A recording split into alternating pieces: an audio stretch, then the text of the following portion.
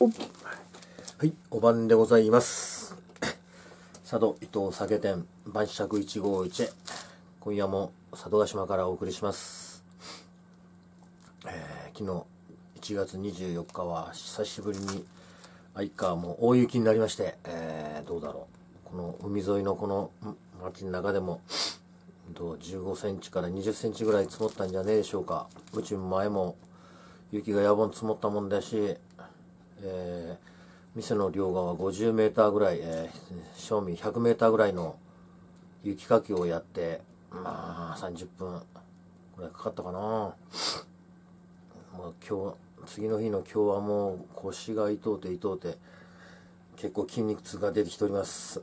明日になるともっと辛いのかもしれませんが2日後がつら辛いっていうのは本当に 逆に辛いわ。なあ昔はこんなことはねえかったんですけど、うん。で今日月曜日、えー1月25日、えー6時半からあー愛川の温泉施設にありますワイドブルー愛川っていうプールで水泳の練習を、えーしてきたではなく子供たちに練習をさせてきました。まあ一緒になってプール入って行ったり来たりするだけなんですけどもただ自分は泳がんと大きい声出しとるだけでそれでも子供たちと一緒に歩 歩く子供たちは泳いどるんだけど俺は歩いて行ったり来たりしとるだけでもまあ結構いい汗かいてで帰ってくるとちょっと喉も渇きますんでと思って酒も飲もうかなと思ったんですけど今日一日ぐらいはちょっと休館日ということでこれ。えーノンアルコールの甘酸っぱい甘酒。開封発酵。改め、えー何？か、えー佐渡発酵。株式会社の麹のお乳を冷て飲んで飲んでおります。これまああのピンク色4か色で麹のお乳と書いておりますがはいえー原材料は麹と米と水だけですね、えー約3週間ぐらい乳酸発酵させた甘酸っぱい甘酒です。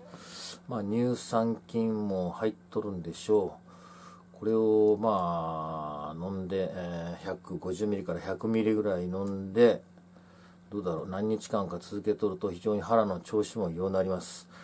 まあこの冬寒い時まあインフルエンザにかかってしもたらもうアウトなんですけどもまあ体を弱らせんためにも腸の活発あの活動を活発にさせるその餌なるもんやそのなんだろう同じ菌腸の善玉菌に似たその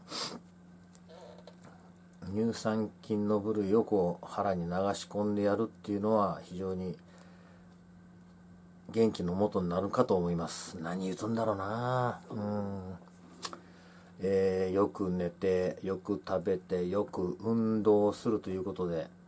まあ運動はまあ散歩したりとかそんな程度なもんですけど。まあ今だいぶ遅くなっておりますが早めに寝るようにして、えーよく運動してでよく食べてってあんまり食いすぎるとようないんですけどこういう体の中に入ってうまく働いてくれるもんを体に取り込んでそしてなんとか冬冬場を乗り切っていきたいもんです。皆さんもうんいっぺんやってみてください。普通の甘いだけの甘酒とは違うて、えー甘酸っぱい乳酸発酵飲料。乳酸発酵。乳酸菌がおそらくあるんでしょう。飲み慣れると出余りません。止まりません。これはうまいです。ホットにするとより酸味も酸味も効いてきてスイスイっと入ります。